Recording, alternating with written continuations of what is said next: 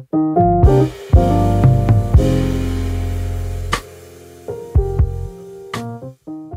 everyone, welcome back to my channel. Today I'm gonna talk about living alone, some things that I'm very familiar with because I've been doing that almost my whole life. I've been living away from my family since I was 15 and now I'm 23. So most of my adult life and my teenage years are spent living by myself.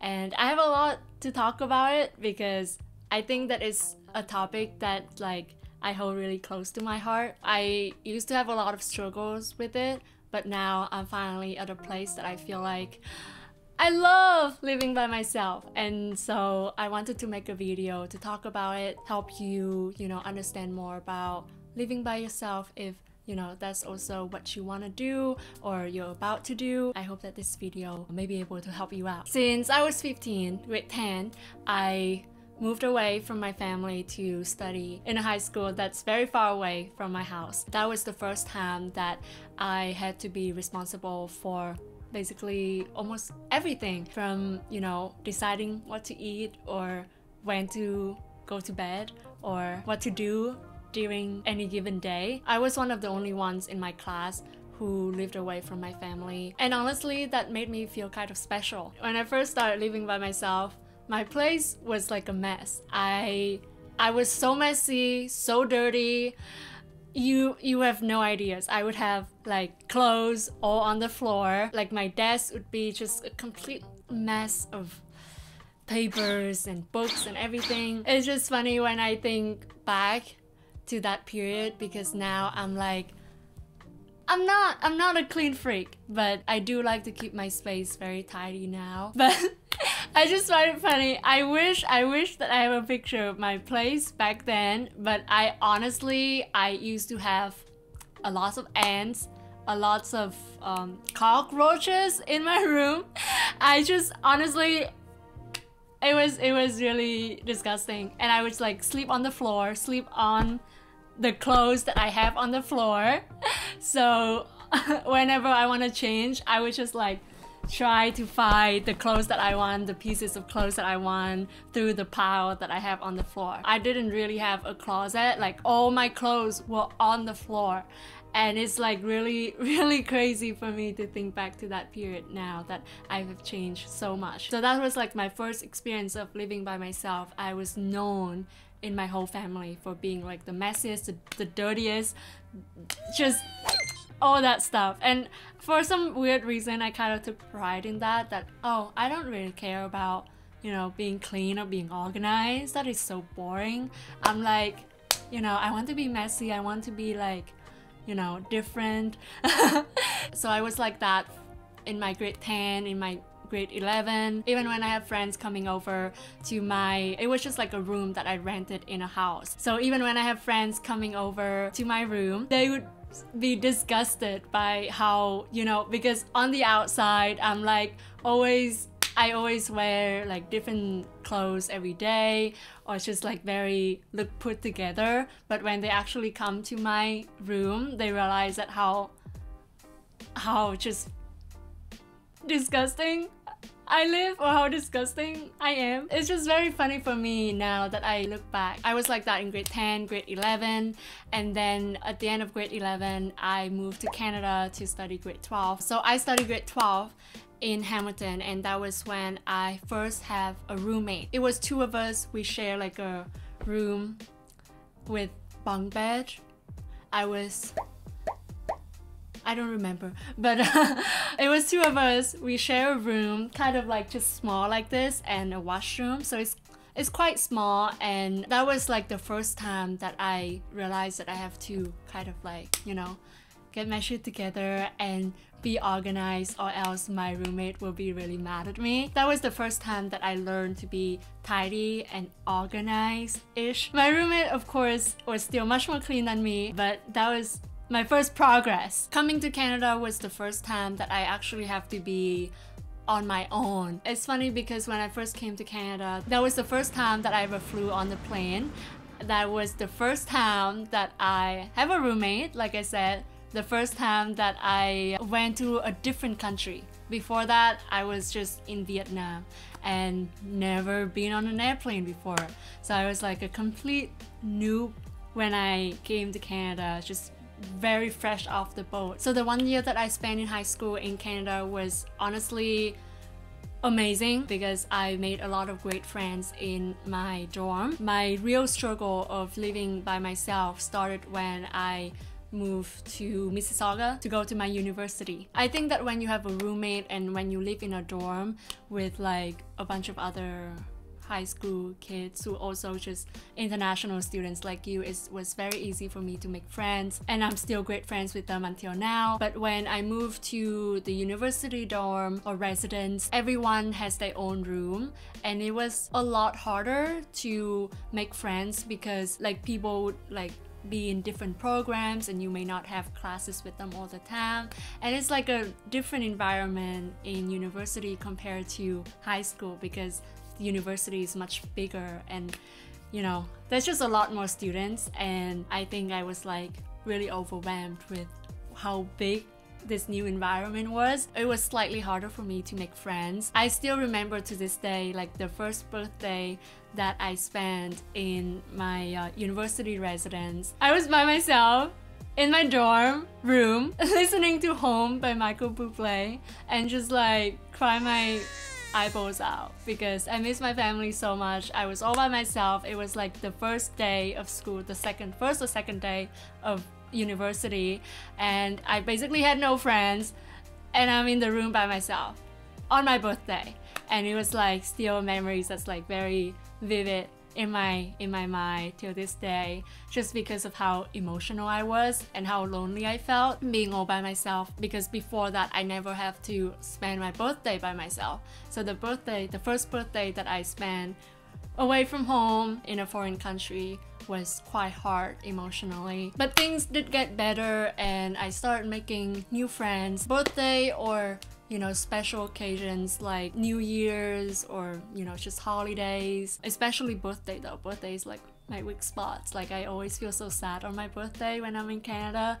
Like I just really want to be back home. Like every year, every time it's like special occasion, birthdays, I would feel very homesick and very very emotional and very like lonely and just kind of like pity myself like oh why am I why am I here? Like why did I choose to come to Canada to just do all of this by myself? But come back to the point, which is things did get better and I didn't make new friends. I eventually moved out of my dorm in my third year of university and I started living in a condo. At first, I lived with a roommate and actually during that time was when I started my YouTube channel right in the living room.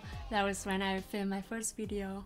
I think so. No, no, no, right in the in the bedroom. So a bedroom that looks kind of exactly like this like 80% 90% looks exactly like this that's when I filmed my first video on my iPhone I believe that 2019 is a year it's all year it's a year that we just don't give a fuck about what other people think and just go for our dreams. That was when I first started my YouTube channel. I think that living by myself really inspired me to do that. I think if I were in Vietnam if I didn't come to Canada, if I still live with my parents, like I would not have the, you know, courage to start my own YouTube channel, to do my own things, just because of the culture there. Like everyone is so judgy, you know, like if I post a video, like I don't know, people would just just judge a lot and just, you know, talk bad behind your back a lot. Like it's just like the culture of gossiping and judge judgments. Please, please, I don't have any time for any gossip now. Eh? Yes. Look at you. And most of the body shaming that I ever experienced happened when I was in Vietnam. So that's why I just really wanted to to come here to Canada or to a new country, to any new country, to be honest, and to be by myself. So I don't have to hear all those negative words, being around those negativity, despite all the loneliness and the you know down moments i i still feel like it's it's very worth it that i come here and do my own things be on my own and along the way create something for myself and learn to be my best friend, learn to be my best supporter. I always get off track. Back to the YouTube thing. So that's when I first started YouTube. I don't even know why I tell you all this. It's not about my YouTube channel. This is about living alone. That's my point though. Like when you live by yourself, you have I feel like you're more you're more likely to start something for yourself or, or kind of like create a separate path or a new path for yourself that is not expected by your parents or your family. Actually, over time, I have, you know, really learned to at first accept or be okay with my loneliness, with being alone. And then over time, I've learned to also love, not only just accept, but love the time that I spend by myself, love the loneliness, love being by myself. And my number one piece of advice to get to that place is to just feel your feelings. Before realizing that, when I used to repress my feelings a lot, when I felt lonely, I would just like ignore that feeling and like try to distract myself with other activities with like doing something so I don't have to feel that negative feeling so I don't have to feel lonely so I don't have to feel like I miss my friends I miss my family. I just try to ignore it and not let myself feel that feeling. But I realized that once I give myself the permission to feel the feeling fully 100% and just sit with it and just cry as much as I want or just feel down as long for as long as I want and not ignore it or not put any pressure on myself to like you have to get over this like you choose this life like just get over it already. Like not tell myself those things and just be gentle with myself and say to myself that it's okay it's okay you can feel this take as much time as you want it's okay you're doing so well. Like, I think that being gentle and kind to yourself during the times that you feel lonely or, or down is so important. It will help you to process the feeling a lot, a lot better than ignoring it or trying to do other things so you don't have to deal with it. I believe that just dealing with the feelings heads on and just let yourself, give yourself the permission to feel whatever comes up for you and be gentle to yourself during that whole process. I think once I truly realized that, that's when I finally, you know, make peace with my loneliness, make peace with my negative moments. Like I no longer beat myself up for feeling down a day or a week and not getting anything done or missing my family so much and just I let myself feel that and I forgive myself for for for everything and not beating myself up for anything. Especially when you're by yourself. I'm by myself most of the time most of the days of the week. And I realize if I don't treat myself kindly if I don't support myself or love myself like someone I love then who else? Because I'm by myself right? I think that's just my little piece of advice and I hope that you can always be gentle on yourself and support yourself through everything. What I also learned from living by myself for the longest time is that I am the only one who can make me happy. Like over time, I've been in a lot of relationships and that sounds bad. Oh my god, what slay queen? but I mean, I've been through a few relationships and because I live all by myself in a foreign country. So in the past when I was in a relationship I kind of made that person like my whole support system you know like that person kind of just became like my family in Canada and I would just depend on them so much for my emotional support and just mental support and everything. I just depend so much on my partners and I realized that it's not a good thing. I realized that because once the relationship ended for whatever reason or we no longer together, I was just like crush, crush, crush, crush to like pieces and it's it took me a long time to get back up, to get over a relationship because I depended on them so much. I kind of just in a way like lost a part of myself in the relationship because I look to them for support. I look to them